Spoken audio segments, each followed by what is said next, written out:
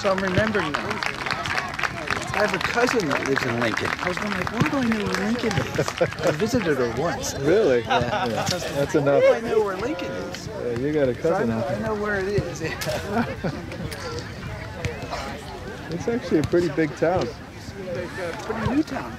Pretty new, yeah. It's like uh, in 2005. Oh, there's an old town to it, kind of an old farm town, but